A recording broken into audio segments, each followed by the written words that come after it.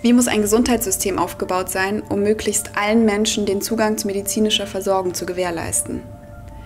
Wie funktioniert internationale Gesundheitspolitik? Was bedeutet konkret das völkerrechtlich verbriefte Menschenrecht auf Gesundheit? Und was kann ich selber tun?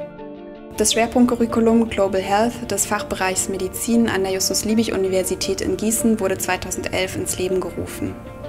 Es gibt Studierenden in ihrem klinischen Studienabschnitt die Möglichkeit, sich mit internationalen und interkulturellen Aspekten von Gesundheit, Medizin und ärztlichem Handeln auseinanderzusetzen. Schwerpunkt Curriculum Global Health, ja, das habe ich in Gießen an der Universität absolviert und äh, ursprünglich mal mit dem Gedanken angefangen, in die Entwicklungsarbeit zu gehen, stelle aber tatsächlich auch hier fest im Berufsalltag, dass ich äh, die dort gelernten Skills wie interkulturelle Kompetenzen oder aber auch was soziale Hintergründe für eine Auswirkung auf die Gesundheit der Menschen hat, hier regelmäßig im Berufsalltag anwenden kann.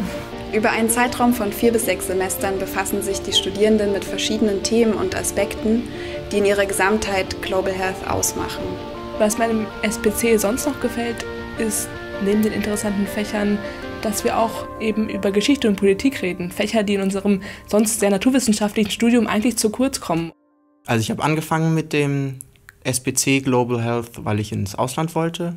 Und dann ist mir bewusst geworden, dass Global Health auch hier in Deutschland von großer Wichtigkeit ist.